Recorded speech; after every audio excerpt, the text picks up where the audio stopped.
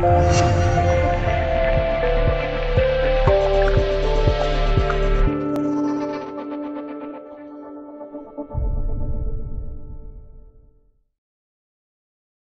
些年，随着日本军事力量和经济实力的增长，日本再次重拾野心，或者说日本野心一直未曾消除，只不过之前的战败让其暂时隐藏了锋芒。近几十年，在美国的帮助下，日本综合国力有了很大提升，这让日本野心再次蓬勃。尤其是安倍上台之后，日本国内军国主义逐渐抬头，这引起了整个世界的关注。当然。仗着自己军事力量的强大，日本不断在背后搞小动作。近日被揭露了一则消息，将会直接给美俄甚至世界带来灾难。世界上唯一一次原子弹爆炸就是在日本。日本作为唯一原子弹的受害者，自然深知核武器的威力，以及拥有核武器之后整个国际地位将会发生翻天覆地的变化。据报道，近日日本被爆出国内藏有四十七吨不保有量。这是制造核弹头的必须原料，